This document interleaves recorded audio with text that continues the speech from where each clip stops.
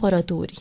În ultima vreme, mai multe persoane au devenit victime ale fraudelor prin SMS. Mesajele par a fi trimise de un prestator de servicii și conțin o invitație de accesare a unui link care sustrage date personale confidențiale pe care le folosesc într-un mod malițios.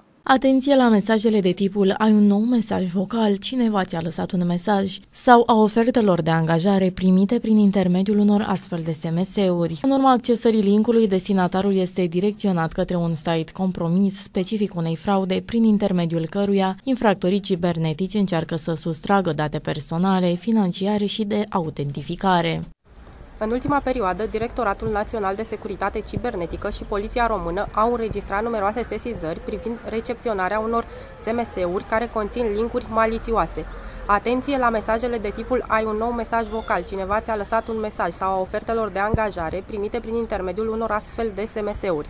În urma accesării linkului, destinatarul este direcționat către un site compromis specific unei fraude de tip phishing, prin intermediul căruia infractorii cibernetici încearcă să sustragă date personale, financiare și de autentificare.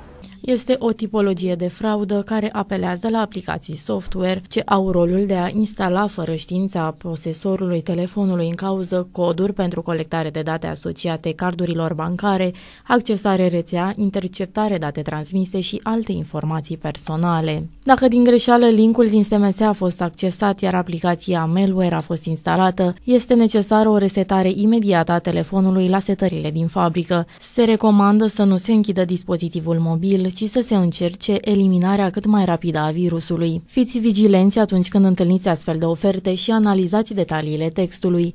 De cele mai multe ori, atacatorii folosesc instrumente de traducere automată a textului din limba lor nativă, astfel că pot apărea greșeli gramaticale, de sintaxă sau de exprimare, pentru că acel text nu este adaptat la rigorile limbii.